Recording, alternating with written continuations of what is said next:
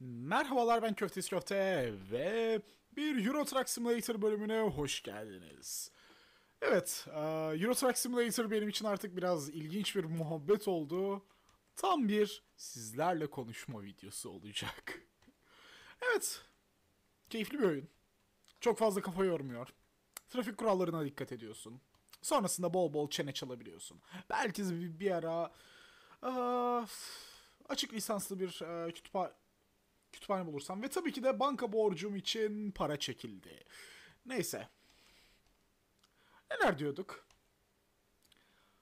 Evet, bu şekilde bir oyun aslında. Bir yandan düşünüyorum da sizlerle beraber şu anki firmamı geliştirebilirim. Bence de olabilir. Güzel bir fikir sanki. Bir tane eleman almak istiyorum bu aralar. Belki bu taşımadan sonra Çekoslovakya'ya geri dönüp firmam orada kurulu. Kendime yeni bir yer alabilirim. Ondan sonrasında da yeni bir kamyon almaya odaklanıp ve neden videonun ortasında hapşırasım geldi? Çok güzel bir soru değil mi? Daha videonun başlangıcında direkt. Evet. Şimdi bundan öncesinde tabii biraz kanal hakkında konuşalım sizlerle. Ve tabii ki de çok güzel bir şerit ihlali yaptım. İzlenmelerim bok gibi. Evet, e, ben bu şekilde bir tabir duymaya alışkın değilsiniz biliyorum ancak. Sebeplerini de tahmin edebiliyorum.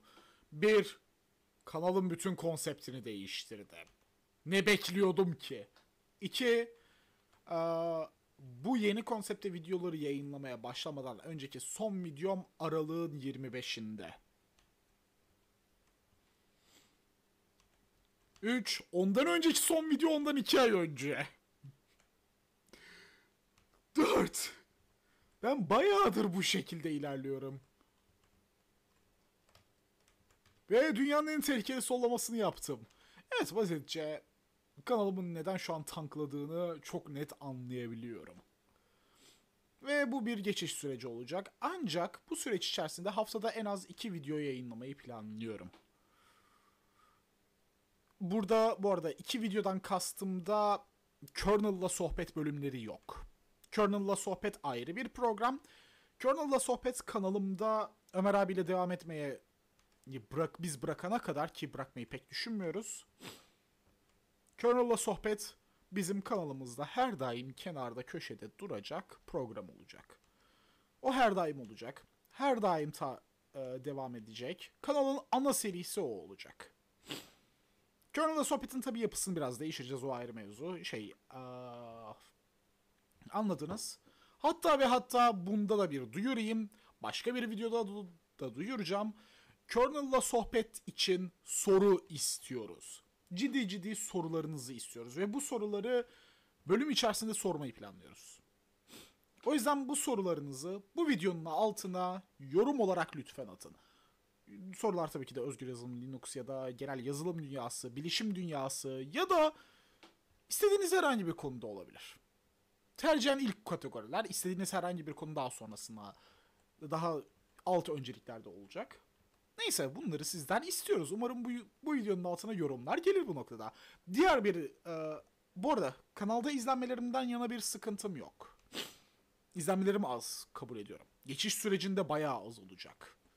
Muhtemelen sonrasında da eski izlenme oranlarıma kavuşamayacağım. Günde 10 şey video başı 10 bin izlenme gibi oranları geri göremeyeceğim onu biliyorum.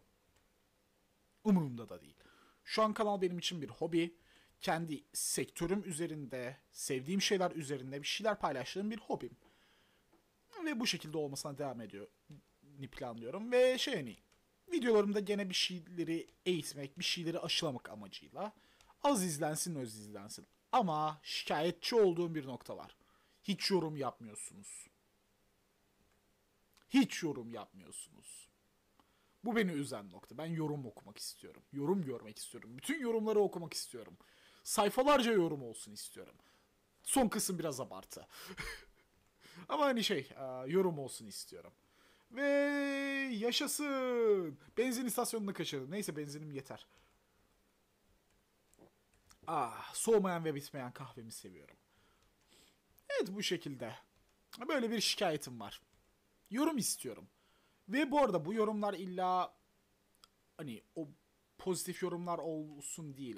Abi şurası, şurayı şurayı daha iyi yapsan daha iyi olur yorumlar tarzı yorumlar da istiyorum. Çünkü bunu bunları özellikle istiyorum. Abi şu noktada profesyonel değilsin. Abi şu noktada şunu yapamıyorsun. Abi şunu şuna biraz dikkat et falan filan gibi. Tabi burada bildiğim konulara değinmeyin. Mesela benim konuşma ortasında çok fazla teklemem gibi. Bu maalesef biyolojik bir sıkıntım ve bunu çözmek pek çok kolay değil benim için. Bayağı uğraştığım bir nokta. Bunun yanı sıra planladığım birkaç tane video var. İlginç birkaç tane. Mesela geçen bir yorumda sorulan bir konu üstüne planladığım çok güzel bir video var. Bunun için Salih'in boş bir zamanda Salih'i dürteceğim. Evet onu da özlediğinizi biliyorum. Ve disleksinin programlamaya olan etkisi tarzı bir video hazırlamayı düşünüyorum. Ee, burada neden Salih'i çağıracağım? Salih bir psikolog. Neden ki ben varım? Çünkü ben disleksiyim. Dolayısıyla da bence gayet güzel bir ikili bu videoyu yapacak. Ha bu arada bir disleks, disleksi hastasıyım ve programcıyım bir yandan. Neyse. Devam edelim. Bu arada aklıma zamanda e, bir tane eserini gördüğüm bir e, Minecraft oyuncusu geldi. Şu anki durumum. E, adam Open Computers'te çok güzel işler çıkartıyor ama gerçek mesleği tır şoförlüğüydü. Şu an ben sanırım onun tam tersi varyasyonuna dönüşmüş olabilirim. ah, evet. Bu arada şirketimin adı neydi benim? Harbi şirketimin adı neydi? Kariyer. Benim nakliye şirketimin bir adı vardı. Ne? Köfteistan nakliyatmış. Neden başka bir şey ko koyabileceğimi düşündüm ki ben bir an. Ah, bu arada Euro Truck Simulator için Euro Truck Simulator için yorumlarım da dünyanın en keyifli zaman öldürme oyunu olabilir herhalde. Hiçbir şey yapmıyorsunuz. Sadece boş boş tır sürüyorsunuz ancak aşırı keyifli. Ve insana çok güzel bir rahatlatma da sağlıyor diyebilirim. Ve tabii ki de konuşma için, izleyicilerle konuşma için çok makul bir seçenek. Çünkü neden? Odağını çok fazla vermene gerek yok. Trafiğe odaklanıyorsun. Aynalara falan bakıyorsun arada. Vesaire vesaire. Ama bu arada Euro Truck Simulator'da da modlara çok fazla bulaşmadım. Eğer modlarda gameplay'e etki eden modlar biliyorsanız onları da lütfen önerebilirseniz benim için makul olur. Kozmetik bir şey istemiyorum. Ben zaten kozmetiği çok fazla umursayan bir insan değilim. Ki zaten e, evime gelen insanların da gördüğü şey Hacı sen hiç süs kullanmıyor musun? Hacı sen hiç tablodur şudur budur kullanmıyor musun? Her şey mi utility? Utility odaklı olmak zorunda senin için tarzı yorumlar yapabiliyorlar. Çünkü neden? Çünkü benim zevk anlayışım temiz olacak, sade olacak, işlevsel olacak. Ha, süs odaklı bir şeylerim var. Mesela yukarıda Johnny Cruz imzalı Lucio plağım var. Ya da bir adet arkadaşın hediye ettiği Mercy e, portresi var. Bir tane de Japonya'dan gelen bir e, hediyelik var. Bu. E, odamdaki süsler bu. Bu kadar. evet süs anlayışım bu. Ve bunların hepsi biri hariç hepsi hediye. O biri de sevdiğim bir seslendirmen tarafından imzalanmış bir şey. Ah. Neyse gel gelelim. Unutmadan burada profilimde seçtiğim fotoğrafı seçmemin tek bir amacı vardı. Adam kel. Bu detayı da hesaba katalım. Ah, bu arada Kernel'da sohbet konusunda da bir yeni logo tasarlamak istiyorum. Çünkü ha, o logodan çok memnun değilim. Free Talk için tasarlamıştık zaten logoyu ve biraz daha iki tane kel kafanın barındığı bir ilginç bir şeyler düşünmüyor değilim hani. Hani böyle bir şeyler e, geçiş geçirebilirim kanalın logosu e, kanalın demişim programın logosunu kanalın logosu ayrı. Kanalın logosu sanırım aynı kalacak gibi ya da bir şeyler düşüneceğim onu da ama kendim tasarlamak istiyorum belki tasarlama sürecinde ne yaptığımı da anlatabilirim krita kullanacağım bu kadar ah, ve tabii ki de kendim bir tasarımcı olmadığım için çok efsane bir şeyler beklemeyin ha ama derseniz ki Abi ben tasarımcıyım. Kanalını da seviyorum. Beklerim bir şeyler. Ama muhtemelen gene kendi tasarımım bir şey ortaya çıkacak. Ya da ortağım kendisi güzel, fena değil bir tasarımcıdır. iyidir. Severiz. Onunla beraber ona gideceğim. Hacı bana şöyle bir şey tasarlasana diyeceğim. Olabilir. Ve Euro Truck Simulator videolarında çok sıkıntı yaşayacağım bir noktada şimdiden kafama dank etti. Hacı konuşacak bu konu bulunmuyor. Sürekli konuşuyorsun. Minecraft videolarında bu kadar değildi. Minecraft videolarında arada hım bunu şöyle yapıyoruz galiba falan diye düşünme sürecinle beraber de konuşabiliyordun. Burada tamamen saçmalamak üzerine kuruluyoruz. Isaac'te de böyle değildi. Isaac'te... Bu arada Isaac videosu çeksem güzel olabilir yakında. Neyse. Isaac'te de böyle değildi. Oyun videosu çekmeyi bazen özlediğim oluyor. Doğru. O yüzden şu an Euro Truck Simulator çekiyorum. Ama dediğim gibi oyun oynamak benim için hafta sonları falan yaptığım ya da işten çok yorgun geldiğimde yaptığım şeyler haline gelmiş durumda. Hafta sonunda bu arada full zamanım değil. Hatta mesela şey bu hafta sonu yapacağım ilginç bir şey var. Bu arada bunu cumartesi çekiyorum. Cumartesi sabahı çekiyorum diyelim. Ee, bu hafta sonu yapmayı planladığım çok güzel bir şey var. Benim bir de e, eski telefonum Xperia Z1. Ona Postmarket OS kur, kurmayı planlıyorum. Postmarket OS nedir diye soracak olursanız kendisi e, artık Android desteği kesilmiş, biraz eskimiş cihazlar için bir Linux dağıtımı. Bu arada Android dağıtımı değil, Linux dağıtımı. Yani Android de bir Linux dağıtımı ama üstüne bir katman söz konusu. Bu direkt saf bir Linux. Ee, bunun dezavantajı GSM tarafı çalışmıyor ancak ben onu GSM cihazı olarak değil bir adet portatif PDA olarak düşünüyorum artık. Çünkü cihaz performans olarak e, fena değil. Zamanla göre bayağı iyi bir cihazdı. Şu an içinde eh işte bir cihaz. Yani annem kullanıyordu. Sadece bir pili öldü pilinin değişmesi lazım. Ee, sonrasında ekranı güzel bir ekran. Ekranını severim. Geniş, güzel bir ekran. Ee, yani öyle. Güzel bir cihaz. Portatif bir PDA olarak düşünüyorum. Mümkün ol, müm, muhtemelen e, çok hafif bir Window Manager kuracağım üstüne Postmarket OS'te. Ee, yani çok fazla özelliği olmayacak. Notları mıdır, şudur mudur, budur mudur tutacağım. Arada canım sıkıldığında oyun oynayacağım bir şeyler olacak gibime geliyor. Böyle bir şeyler düşünüyorum. Hmm, eğer başarılı olursam bu süreci anlattığım bir videoda çekebilirim. Belki ama belki. Tekrarlamaya üşenmezsem. Ama kesinlikle Postmarket OS'te neler yapılabileceği üstüne bir şeyler düşüneceğim. Onunla alakalı bir video planlıyorum. Sizin ilginizi çeker mi? Hani eski bir Android telefona düz Linux kurmak. Bence ilginç bir konsept. Destekleyen cihazlar listesi Postmarket OS'in sitesinde yer alıyor. Ee, zaten Xperia Z1'i gördüm geçen gün orayı dolaştığımda dedim ben buna kurarım. Elim evde kullanılmayan bir adet Z1 var neticede.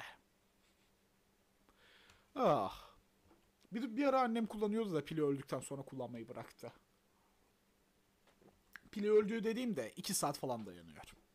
Yani telefon için mantıklı bir süreç değil. Ama bana muhtemelen yazılımsal gibi geliyor o ayrı mevzu.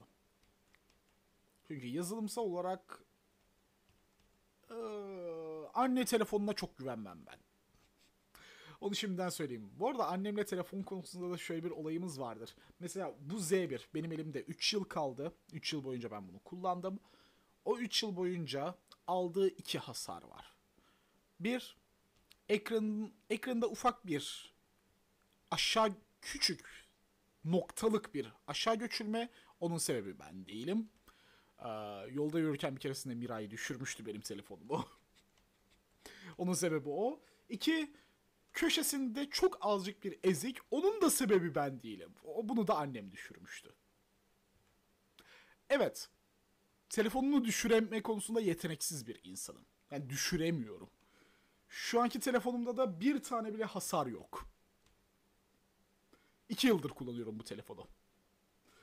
Ve ufak bir not belirtmek istiyorum. Telefonlarına kap koymaktan nefret eden bir insanım. Bence aşırı başarılı mıyım yoksa aşırı başarısız mıyım onu anlamaya çalışıyorum. Siz ne dersiniz bu konuda onu bilemeyeceğim. Bence başarılıyım. Evet.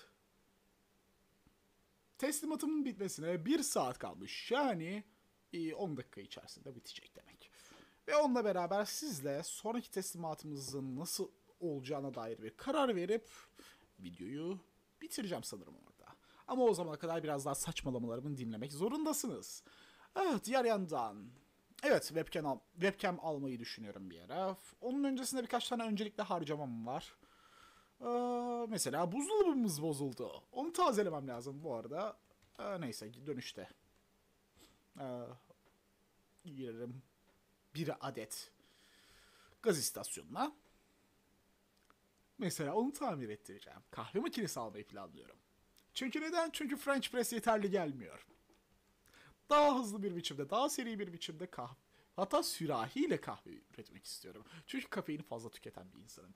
Muhtemelen kahve makinesini mutfağa değil odama koyabilirim. Odamda boş yer var neticede. Evet. Çok fazla eşya kullanmayınca insan otomatik olarak boş yeri oluyor. Bu arada minimal yaşamanın çok güzel artıları var. Çünkü hani bir şeye ihtiyacınız olduğunda Hım, bunu nereye koyacağım diye düşünmenize gerek kalmıyor. Ha burada boş yer varmış. Tak. Gibi. O yüzden tavsiye ederim. Hani artı gözü yormuyor. Ama kesinlikle değiştirmek istediğim... Ha bu arada değiştirmek istediğim şeylerden bir tanesi daha... Ups bir yukarı bakayım derken. E, hoparlörümü de değiştirmek istiyorum. Çünkü neden? Çünkü hoparlörümün bast kısmı patladı. Bu yüzden olsa gerek e, uzun süredir masaüstümden bir şeyler izleyip dinlemiyorum. Masaüstümü kulaklıkla falan kullanıyorum. Evet. Bence güzel bir gerekçe olabilir. Bası patlamış bir hoparlör cidden çok sinir bozucu oluyor. Bu arada bası patlamıştan kastım sadece tiz ses veriyor şeklinde değil. Şu şekilde basta bir e, yarık var. Subwoofer'ında.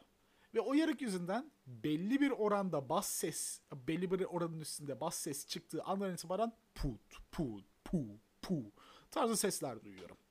Ve bu yüzden bu hoparlörü bir ara değiştirmeliyim. Ki bu hoparlör bu arada sanırım 10 yıllık. 10 yıldır aynı hoparlörü kullanıyorum. Pardon 10 yıl değil 7 yıl. Yanlış hesapladım. 7 yıldır bu hoparlörü kullanıyorum. Oh. İyi dayanmış. Ah. Yani buradan değişme zamanının geldiğini anlayabiliyoruz. Ya da genel olarak kendisinden fena az da olsa memnun. Yani az buz da olsa memnunum. Belki bir tane sub, bunun subwoofer'ının kullandığı uh, Zamazingo ile aynı şeyi bulup değiştirebilirim belki. Evet aslında daha mantıklı olabilir. Ve daha ucuz olacağı da kesin. Ya en o, e, bayağı ucuz olacak hatta. Ya en olmadı zaten yani elimde patlarsa zaten yenisini alacağım her türlü. Evet, mantıklı bir seçenek bence de. Oh. Ha bir de tele, ha, şu anki telefonumun garantisi bittiği için ona da bir ara Lineage OS kuracağım. O da bir Android dağıtımı. Çünkü neden? Çünkü Sony'nin kendi e, ROM'u son birkaç güncellemede bayağı bir hacı siz ne yapıyorsunuz dedirtiyor bana. E, dolayı artı bir de hani rootlamak istiyorum. Düzgün bir shell kullanmak istiyorum. Evet bu arada telefonumda shell kullanmak istiyorum. Onu belirteyim. Telefonumu komut konsol üzerinden yönetmek istiyorum. Neden diye soracak olursanız ben de bilmiyorum. Çok daha rahat geliyor. Ah. Ve bunun yanı sıra ben izle, sizin izlemek istediğiniz video tarzları hakkında bir şey tahmin etmeye çalışıyorum ancak anlaşılan çok iyi, iyi tahmin edemiyorum. Sizden de bir şeyler bekliyorum. Güzel yor... Hmm. Değmez o 40 AP TP'ye.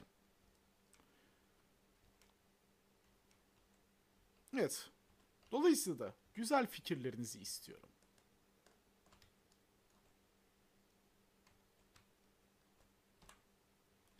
Evet ve 20 küsür euroydu değil mi? Bakalım. 21 euro. Yeah. Ay, 21 bin euro pardon. Pardon yanlış söyledim.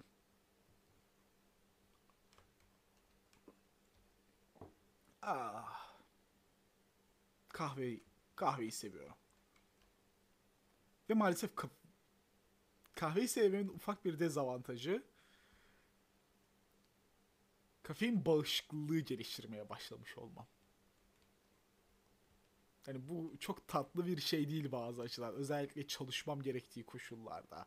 Çünkü üstünden yorgunluğu o kadar kolay atamıyorum. Ve ye yaşasın kırmızı ışığa yakalandık.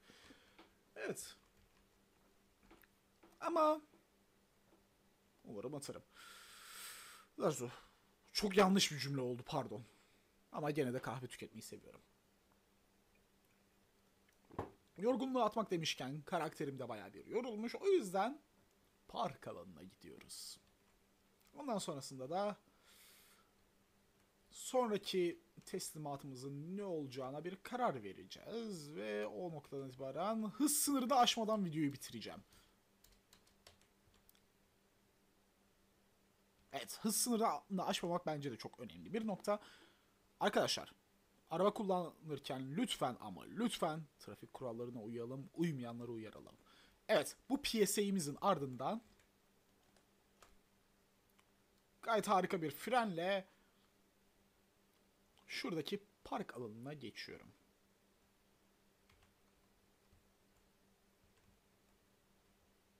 Bana çarpmazsın değil mi?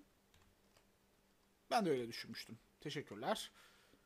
Uuu tam yeri. O yüzden tam yeri tam zamanlı diyoruz. Ve bunu hatırlayan kimler var? Benim gençliğimin travmalarından bir tanesidir kendisi.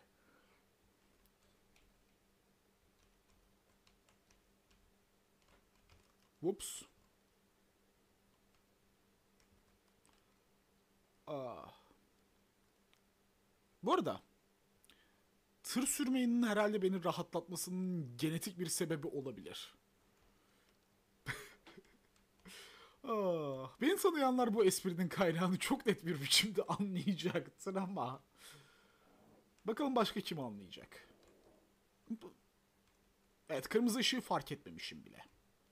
Ve bu saatte neden kırmızı ışığı fark edeyim? Gecenin ikisi.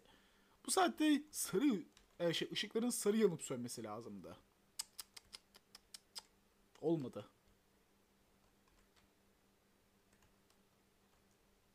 Evet. Bakalım burada güzel bir teklif var mı? Hmm. Kilometre başına karlı. Totalde çok fazla para kazandırmayacak ancak kilometre başına bayağı karlı bir iş. Alırım. Belki zaten kuzeyler... Aslında benim Çekoslovakya'ya dönmem gerekiyordu ama. Neyse bundan sonraki teslimatta Çekoslovakya'ya dönerim. Ya da Almanya'da kendime yeni bir yer alabilirim.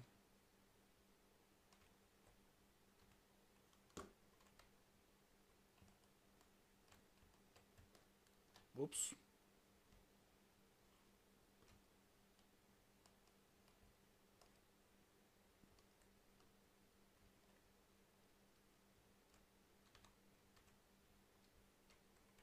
Bakalım bağlanacak mı? Hayır bağlan. Bağlandı.